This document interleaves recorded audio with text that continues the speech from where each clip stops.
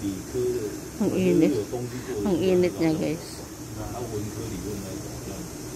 Katap.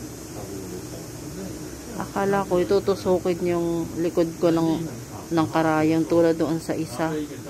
Ito naman, papainitan ang likod mo. Tinatanggal yung lamig. Tinatanggal niya yung lamig sa likod ko. Hindi ito lamig pila ito. Eh. Ayan. Ang init. Grabe.